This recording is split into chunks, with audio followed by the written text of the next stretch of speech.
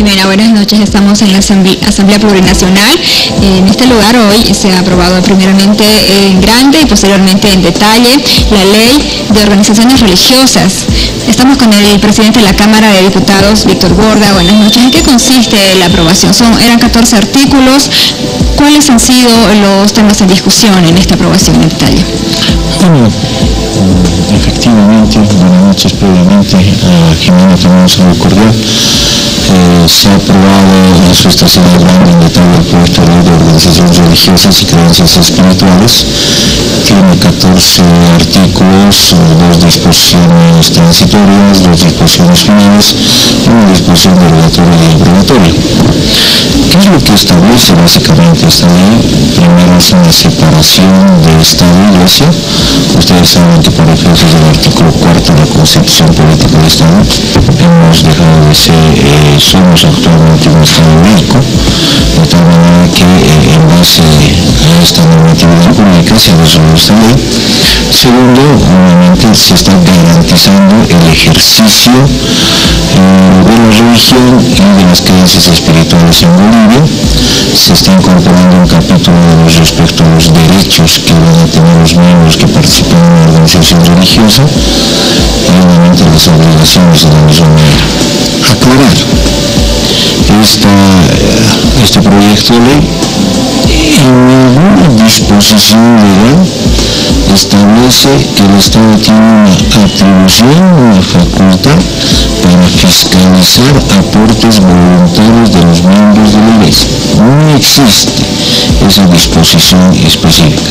Segundo, tampoco existe una normatividad jurídica que colocaría en el mismo jerárquico los miembros de una organización religiosa con los miembros de una creencia espiritual no hay un rango jerárquico, sino más bien una clara diferencia entre qué es una organización religiosa y qué es una creencia espiritual. Quienes forman parte de una organización religiosa y quienes forman parte de una creencia espiritual.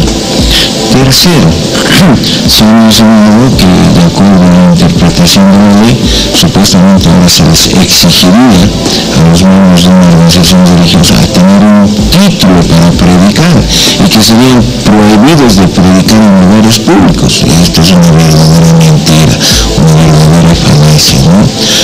Más bien esta ley está estableciendo que a través de un procedimiento legal, aquellas personas que pertenecen a una organización religiosa y que por ejemplo estudiaron teología en esa organización, en, una iglesia evangélica, luterana, etc., el Estado podrá a través de un procedimiento reconocer esos años de estudio y otorgarle una licenciatura o de acuerdo a lo que ha estudiado. ¿no? no es una condición sine qua non para que obviamente pueda predicar cualquier persona tener título, eso es una verdadera. Mira, presidente le escucho. ¿Cómo está? Muy buenas noches, gracias por atendernos. Eh, una consulta, ¿cómo le afecta esto o cómo le beneficia a los fieles? Por ejemplo, a un fiel católico, ¿cómo cambiará su vida?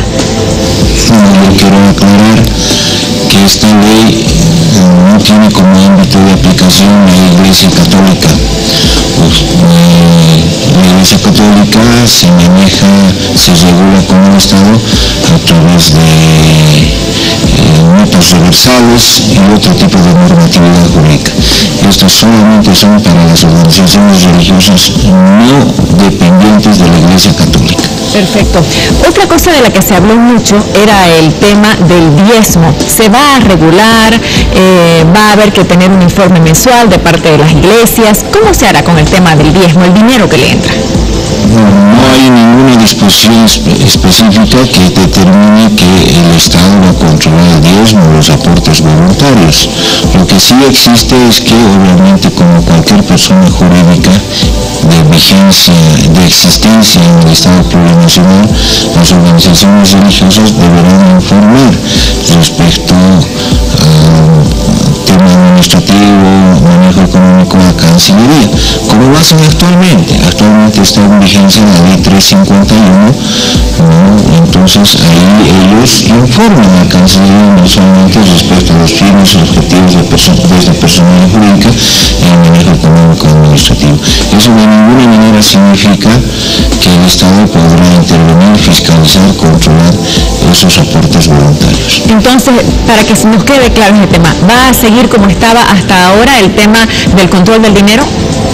Así es, ellos podrán informar a Cancillería no solamente como actualmente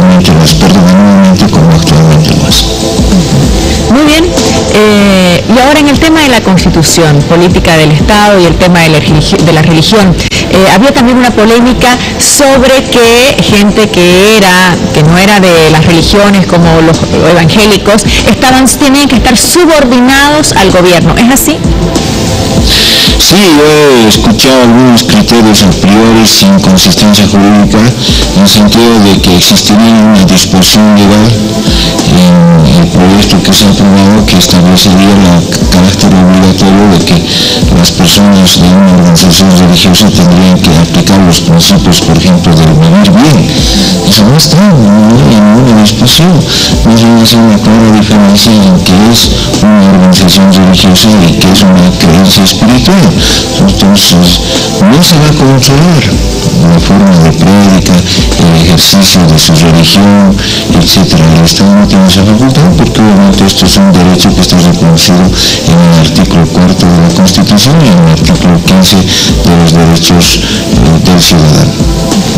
No es que una mauta va a estar por encima de un líder de una religión cristiana. No, no establece ningún rango jerárquico absolutamente de nadie, eso, eso es evidente. Ley, el artículo cuarto de la Constitución establece que eh, existe libertad de religión y obviamente también libertad de organización religiosa y de credo. No hay rangos jerárquicos, nadie está por encima de nadie, definitivamente. usted nos decía al inicio que esto no tiene nada que ver con la Iglesia Católica, que se rige bajo otra norma. Entonces, ¿quiénes entran aquí? ¿Los evangélicos? ¿Quiénes ingresan a estar bajo esta ley? Todas las organizaciones religiosas actualmente vigentes sin fines de lucro. Actualmente, eh, de acuerdo a los datos de Cancillería, existiría 380 religiones, organizaciones religiosas que están tramitando su personalidad jurídica ante Cancillería. Entonces son estas religiones, evangélicos, luteranos, cristianos, etcétera, toda esa diversidad de religiones que están vigentes en nuestro país. Para una persona que actualmente va a una iglesia evangélica, ¿cómo le va a afectar esta ley? Más bien les va a otorgar derechos fundamentalmente, pero también va a establecer una absoluta diferencia entre Estado y definitivamente Iglesia. Entonces, ellos van a conocer sus derechos, sus obligaciones y obviamente también un reconocimiento expreso ahora eh, respecto al reconocimiento de, una organización religiosa. Actualmente existe la ley 351 donde no les reconocen de manera específica como organización religiosa, sino están entremezclados como organizaciones mercantiles, asociaciones, fundaciones. En cambio, esta ley eh, de manera específica les van a reconocer.